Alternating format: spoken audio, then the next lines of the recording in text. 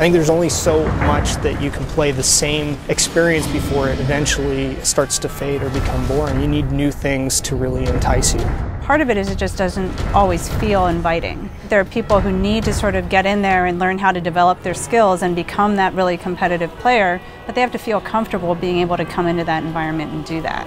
How do you get people more deeply connected with your universe? We're trying to make it innovative, we're trying to make it accessible, and by introducing story and a narrative thread through the whole Infinity multiplayer experience is something that we really wanted to put a lot of attention and detail into if it's a universe that everybody wants to be really excited about, it's got to grow and evolve beyond just an incredibly balanced suite of mechanics. It's got to speak to fantasy and what people want and what they expect.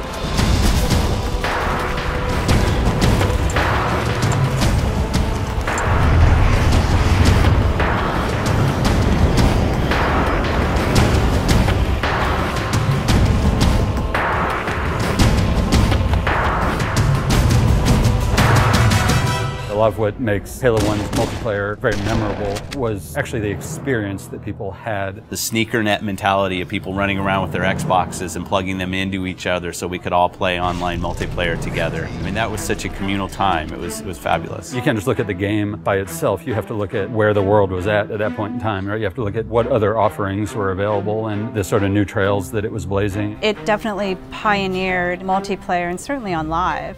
But when you look at the series over time, I think that it's failed to change. And something we really wanted to do with Halo 4 was evolve the experience. The high level philosophy for multiplayer was that we wanted to unify the competitive and cooperative experiences under this one big narrative banner that we call Infinity. The Infinity is a UNSC ship that is home to the Spartan 4 program. Really try to contextualize multiplayer in such a way in which it doesn't feel like abstracted game mode off to the side. It feels very much part of the same universe. We knew we wanted to expand the audience as far as we could, but still satisfy the core as much as possible. We had to break everything down to line by line evaluation of our current scripts and redefine that core loop to not make it like Halo 2 or like Halo 3 or something in the middle, but make it Halo 4. Halo starts with a philosophy that we've upheld, which is that your gameplay mechanics are consistent across every mode, so they don't change. We want to give players the power to choose which weapons they take in. People have their own personal favorites. It's a growth system in that you're unlocking customizations for your character, you're unlocking new weapons and abilities, but that's also helping to train you how to use those over time. You have armor abilities and armor mods, which are sort of under the hood modifications to your armor that give you abilities, give you passive changes. And then that completely fit in with our new scoring system.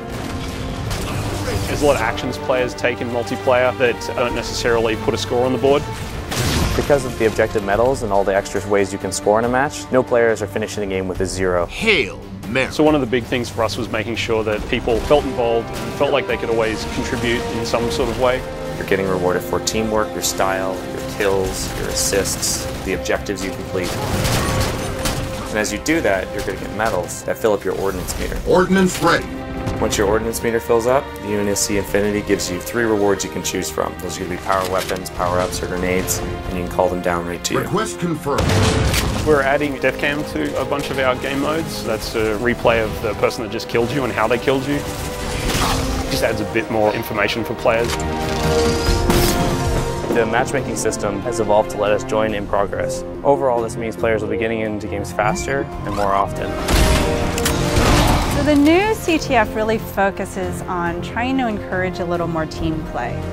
In the past, there was a lot of dropping of the flag and changing of roles, and it led to chaos and confusion on the battlefield unless you had a really, really well organized team. Now, when you pick up the flag, carrying flag, you're 100% committed, and at that point, your role is now to deliver that flag. Your HUD will change to tell you exactly where the deliver point is. Everybody can see exactly what it is that they're supposed to do. If you don't have that flag, then you'll still get points for helping your flag carrier, driving him around, assisting him, saving his life, returning your own flag, defending your flag against the enemies. It's a much more intense experience for all the players. Enemy team scored.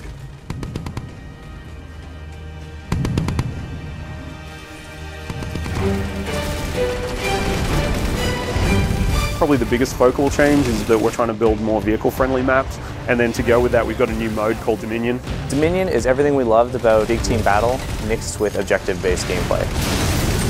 You have lots of vehicles, big power weapons, large maps, but now there's bases. As you reinforce the bases, then shields will come up, or you'll be able to activate turrets to kind of reinforce those locations. It's kind of like territories, but with a little bit more of a twist. Territory control. One of the biggest challenges was trying to get vehicle and infantry play to work really well on a large map that had a lot of interior space. In Longbow, for example, all the bases in Dominion are fully thought out features in the map, and that really lets you get that break in and defend gameplay. The idea was to try and make sure that the team started here or here. The paths that they could take in between involved great pinch points, places where the vehicles would automatically run into each other and jump over each other.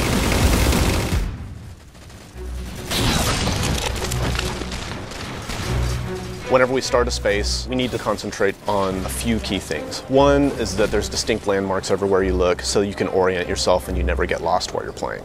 Two is that whenever you're moving from location to location, if you're jumping across a gap, that none of those jumps feel frustrating. So for instance, floods are a replacement for infection and players have higher jump height. Infected. We needed to make sure that we could make a map that you're always going to hit your target, you're always going to be able to move around smoothly. Flood is a spiritual successor to Infection. We knew how popular this mode was, we knew it had a lot to live up to, so we didn't want it to just be a Slayer variant anymore. The ground up, it's a new script, it's its own mode now. And now when you're Flood, you get this new character model, you get a big claw, which you can completely slice the survivors in half with. If you look at the model, there's a set of fingers gripping the top of it. The idea being it's kind of been an explosive growth. As soon as they get infected, it just kind of pops out of them. There's like little teeth inside now. Survivor. In addition to all of the new elements that we're adding to Halo 4 multiplayer, we're bringing back and improving a bunch of old favorites. We're bringing back King of the Hill and Oddball. With Oddball, we also want to incorporate all the elements of our new scoring system. We're looking for ways to make it a team-based experience like never before. Instead of just running away and hiding, now players get points for passing, catching, intercepting the ball. It completely changed the landscape. We're working with Certain Affinity to build content for multiplayer. It's a pretty huge undertaking. Certain Affinity has a great history with 343. We worked with them on the Defiant map pack and just recently with Halo Anniversary. In particular for this project, what they're doing for us is our 10 multiplayer maps, three of those are Forge. And one of those maps will have a Griffball court in it. Gain the lead. Forge is our toolset that allows players to customize their own levels. So we give multiple spaces that each have unique components that you can kind of mix and match to make your own layouts. We felt like the previous permutation of Forge wasn't necessarily the most accessible. The biggest thing for us was trying to increase the speed at which you can build things. We have a lot of new components. First is a magnet system, which makes it easier to line up pieces to each other. You see these little guys over here. These are hand-placed magnet points. Based on these points, you toggle it in the game and you can actually snap pieces together. Another thing that we have is the duplicate object tool. So if someone has a crazy idea, you can just place something. Oh, I have a mongoose. I can make six more of those. A lot of the criticism we got for past Halos was that Forge is all well and good, but the whole thing looks gray, it just doesn't look realistic. What you notice in Reach, for instance, is that the objects sitting next to each other don't know about each other at all from a lighting perspective. Now there's shadows cast on the pieces that you placed. I can place a block sort of anywhere I want, and they'll just sit there. There'll be no shadow on the ground. It'll look kind of like it's floating, even though it's actually quite close to the ground. But then if I turn the lighting on, boom, you instantly get a shadow there. There's going to be things out there where we just end up scratching our heads being like, how did someone do that?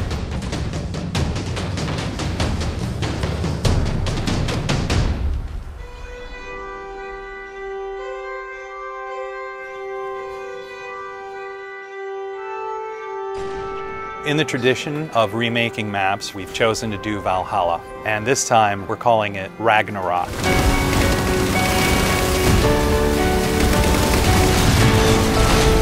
It is almost identical to the original layout of Valhalla. We fine-tuned things for jetpack and things like that. But the biggest change to this map is the addition of the Mantis. Mantis is probably the biggest new sandbox toy we have this time around. When you walk up to it, you'll see it sitting on the floor, and so you hop in this hatch in the back. On its right hand, it's got an enormous UNSC chain gun, and then on the left side, it's got a five canister rocket pod. You can use both weapons at the same time, and the rocket pod itself, you can charge up and actually fire all five rockets at once.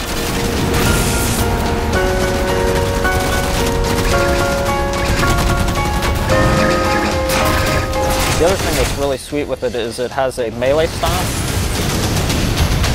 This is probably the most powerful vehicle in a Halo game since like the Scorpion or Banshee. We knew from the start that if we're going to put this in campaign, we have to bring in multiplayer. What better toy do I want to use in Battlefield than the mech? When you look at Halo's audience, you've got a group of players that really gravitates towards campaign, and then another group of players that really gravitates towards multiplayer. The idea of knitting together the narrative and this gameplay experience was the genesis of where Spartan Ops came from. The narrative thread through Spartan Ops is absolutely huge. Six months after the events of campaign are over, the crew of the Infinity is going down to investigate Requiem. Some of the old hands here know what you're in for. The rest of you, you're due an education. Each week you have a new episode of a series that's continuing to tell this evolving story. And then you have these five missions that tie directly to that episode. And actually, in some cases, you have a direct impact on what's happening in the next week's episode. Don't relax yet. You've got more hostiles headed your way. There are both creative challenges and production challenges. One is it, it's just a huge amount of content. We have, you know, 50 missions that we're developing over the 10 weeks of the Spartan Ops season. We only have this much space, we only have this much RAM, we only have this much bandwidth. So we had to do a lot of technical trickery so that everything that we wanted to accomplish was able to happen. We want you to feel invested as part of the story. We wanted players to feel like they're accomplishing something. You rise up through the ranks, and once you get up to 50, we have what are called specializations. Specializations are kind of the end game for your Spartan career. Each specialization has an armor set, a bunch of emblems, an armor skin, and probably the biggest thing is that you can also unlock an extra armor mod. You can actually have a little gameplay item. Are you a vehicle guy? Are you a sniper? Are you someone who wants to level up faster? We actually have a mod that lets you earn XP a bit faster. It's more about specializing how you play at that point rather than the core gameplay mechanics being modified. So all the choices that you're making carries into the Spartan Ops experience. I'm going to tune in every week. We'll experience the story together for the first time as friends, and then we'll go play together as friends. And so this sort of new version of the water cooler Spartan Ops will be one of those pinnacle moments for us in the franchise of creating new expectation for gamers and really delighting people with just great new functionality.